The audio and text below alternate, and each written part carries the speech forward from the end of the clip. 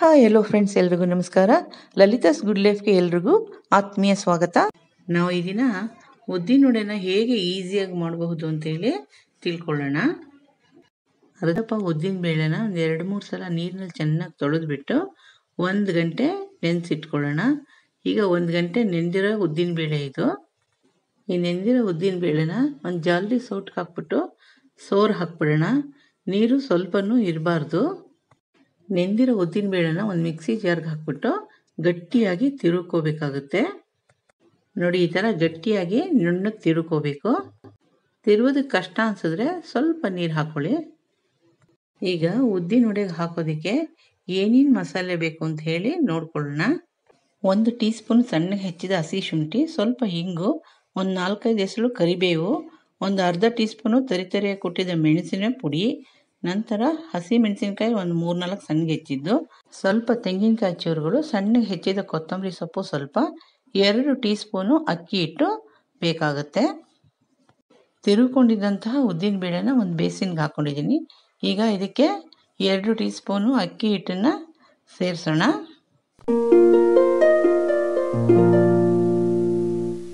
ಈಗ ರೆಡಿ ಮಾಡಿ ಇಟ್ಕೊಂಡಂತಹ ಮಸಾಲೆ ಪದಾರ್ಥಗಳನ್ನು ಹಾಕೋಣ.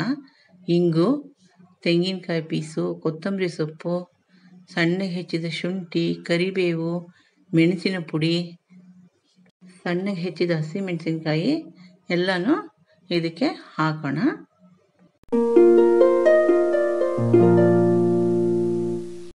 ಚೆನ್ನಾಗಿ ಮಿಕ್ಸ್ ಮಾಡಿಬಿಟ್ಟು ಒಂದು ಕಾಲು ಟೀ ಸ್ಪೂನು ಸೋಡಾ ಹಾಕೋಣ. ನಂತರ ರುಚಿಗೆ ತಕ್ಕಷ್ಟು ಉಪ್ಪನ್ನು ಕೂಡ ಇದಕ್ಕೆ ಸೇರಿಸ್ಬಿಟ್ಟು ಕೈನಲ್ಲೇ ಚೆನ್ನಾಗಿ ಮಿಕ್ಸ್ ಮಾಡಬೇಕು. ಇದು ತುಂಬ ಇಂಪಾರ್ಟೆಂಟು ಎಲ್ಲನೂ ಹೊಂದ್ಕೊಳ್ಳೋ ಹಾಗೆ ಚೆನ್ನಾಗಿ ಮಿಕ್ಸ್ ಮಾಡಬೇಕು.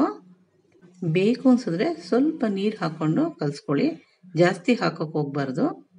ಈಗ ಬಾಣಲಿ ಎಣ್ಣೆ ಹಾಕಿ ಕಾಯಕ್ಕೆ ಇಟ್ಟಿದ್ದೀನಿ. ಸ್ವಲ್ಪ ಹಿಟ್ಟನ್ನು ಹಾಕಿ ನೋಡೋಣ. ಅದು ಮೇಲೆ ಬಂದರೆ ಕಾದಿದೆ ಅಂತ ಅರ್ಥ. ಈಗ ಎಣ್ಣೆ ಕಾದಿದೆ. ಉದ್ದಿನ ವಡೆಗಳನ್ನ ಎರಡು ವಿಧದಲ್ಲಿ ಎಣ್ಣೆಲಿ ಕರಿಬಹುದು. ಒಂದು ವಿಧದಲ್ಲಿ ಜಾಲರಿ ಸೌಟ್ ಮೇಲೆ ಸ್ವಲ್ಪ ಹಿಟ್ಟನ್ನು ತಟ್ಬಿಟ್ಟು ಮಧ್ಯದಲ್ಲಿ ತೂತ್ ಮಾಡಿ, ಆ ಜಾಲರಿ ಸೌಟನ್ನು ಮಗಚ್ಬಿಟ್ಟು ಎಣ್ಣೆ ಒಳಗೆ ಹಾಕೋದು ಒಂದು ವಿಧಾನ.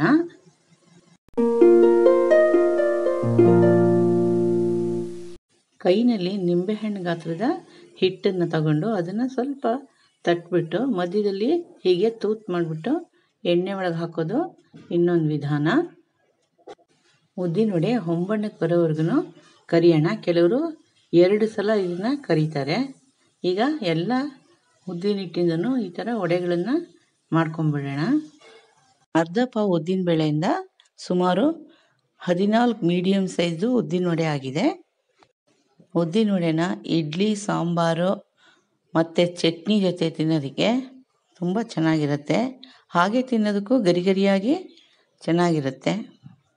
ಒಂದು ಸರ್ವಿಂಗ್ ಬೌಲ್ಗೆ ಇಡ್ಲಿ, ಒಂದು ವಡೆ ಮತ್ತು ಅದರ ಮೇಲೆ ಸಾಂಬಾರು ಹಾಕಿದ್ದೀನಿ. ಇನ್ನೊಂದು ಪ್ಲೇಟಲ್ಲಿ ಇಡ್ಲಿ, ವಡೆ, ಸಾಂಬಾರು, ಚಟ್ನಿ ಸಪ್ರೇಟ್ ಆಗಿದೆ. ನೋಡೋದಲ್ವಾ ಫ್ರೆಂಡ್ಸ್ ಉದ್ದಿನ ವಡೆ ಮಾಡೋದು ಸ್ವಲ್ಪನೂ ಕಷ್ಟ ಇಲ್ಲ ಅಂತ. ಉದ್ದಿನ ವಡೆ ಮಾಡೋದಕ್ಕೆ ಟಿಪ್ಸ್ ಏನು ಅಂತಂದರೆ ಉದ್ದಿನ ಹಿಟ್ಟನ್ನು ಗಟ್ಟಿಯಾಗಿ ತಿರುಕೋಬೇಕು. ತಿರುಕೊಂಡ ಹಿಟ್ಟಿಗೆ ಮಸಾಲೆ ಹಾಕಿದ ಮೇಲೆ ಚೆನ್ನಾಗಿ ಮಿಕ್ಸ್ ಮಾಡಬೇಕು.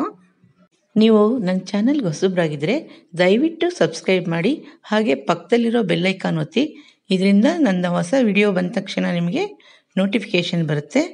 ಈ ವಿಡಿಯೋ ನೋಡಿ, ಲೈಕ್ ಮಾಡಿ, ನಿಮ್ಮ ಅನಿಸಿಕೆಗಳನ್ನು ತಿಳಿಸಿ. ಎಲ್ಲರಿಗೂ ಧನ್ಯವಾದಗಳು.